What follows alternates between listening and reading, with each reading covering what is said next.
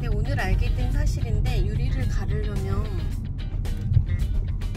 어, 저는 그 자동차 서비스 센터 가야 되는 줄 알았더니 차 유리 전문하는 데로 가야 된다는 거예요. 그래서 춘천에서 차 유리 전문하는 데로 가고 있습니다. 박성 자동차 유리 끝.